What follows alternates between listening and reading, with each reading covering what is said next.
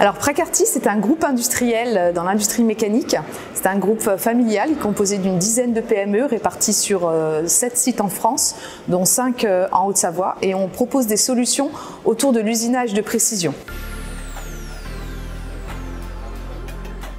On s'engage sur le, sur le territoire et euh, auprès de nos parties prenantes pour proposer des solutions euh, innovantes d'usinage euh, de manière durable et responsable. L'industrie durable, elle occupe d'ores et déjà une place importante dans chaque prise de décision et dans certaines orientations stratégiques euh, qui, sont prises dans, le groupe. Il y a premièrement ce qu'on peut faire à l'interne.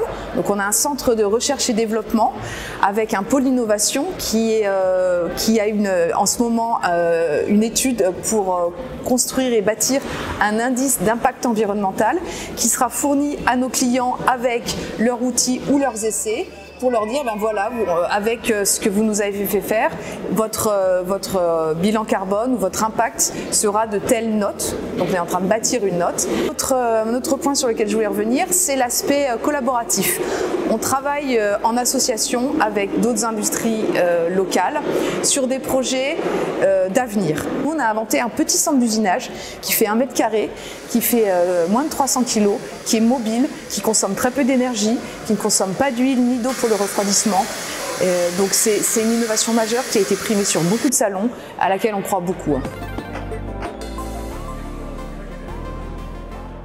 La raison d'être, quand on a essayé de la formuler, on a eu des, ça a créé quelques débats, euh, notamment par rapport à notre cœur de métier, hein, qui est euh, une entreprise industrielle de, production manufacturière, d'usinage.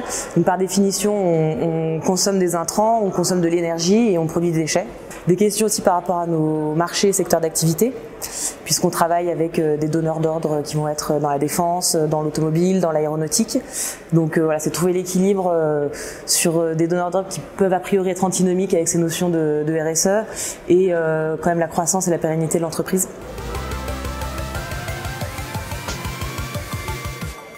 Dans ce travail avec Pracartis notamment, euh, nous avons euh, étudié cette question qui est importante pour bon nombre d'entreprises, c'est-à-dire qu'on peut avoir une vision idéale et en même temps on est confronté à un certain nombre de, contraintes, de partenaires, de, contraintes économiques. On a aussi la crise énergétique. On peut avoir beaucoup de paradoxes. en travaillant avec Pracartis, on a eu la chance de voir que on pouvait lever ces paradoxes avec l'innovation et il y a un lien particulier chez Pracartis euh, avec l'innovation, c'est que c'est un peu aussi leur cœur de métier. Donc ils sont dans la technologie de précision, mais ils sont extrêmement en avance aussi grâce à un service R&D. Et finalement, dans cette question de la raison d'être, ils ont aussi utilisé l'innovation pour sortir de, pour euh, essayer de dépasser ces paradoxes. On a mis en place des groupes de travail avec euh, au niveau des différents de tous les sites, euh, avec des ambassadeurs, des référents RSE, et donc il y a une émulation quand même de la part des salariés qui est importante et une prise en main, une prise de conscience c'est une prise en main des sujets qui est assez positif et qui, avec des, échanges de bonnes pratiques, euh, des actions qui en découlent, qui sont, euh,